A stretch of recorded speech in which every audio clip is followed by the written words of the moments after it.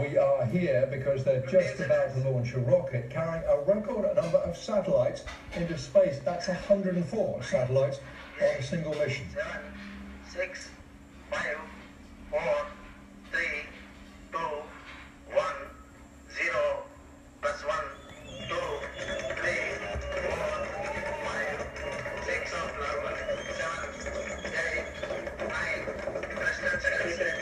President As usual at PSLV, there it goes. In fact, this mission carrying only three Indian satellites. Most of the load here is nano satellites from other nations, including 96 from the United States.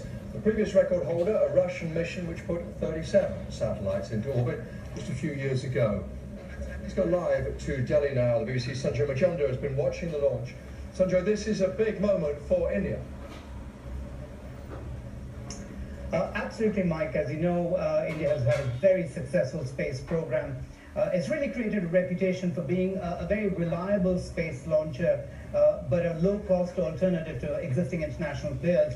Uh, and I was speaking to people yesterday, people who uh, follow sort of space science very closely, and, and they were trying to explain to me why this launch was so significant. It's not just the fact that it, it's so many satellites up on one rocket, but the fact that it's so complex, you have to ensure that even though these are very small satellites, uh, that they don't collide while they're being launched. Uh, uh, it's a very, very complex procedure, uh, and, that's why it, you know everyone associated with the launch, the scientists, uh, have been so anxious about it.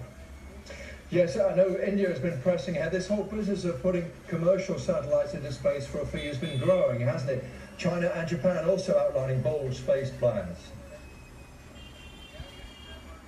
Yes, that's right. Um, you know, many people are saying that if it was the Russians and the Americans in the 60s, well, now it's the Indians and the Chinese, really, who are the new sort of space rivals, if you will.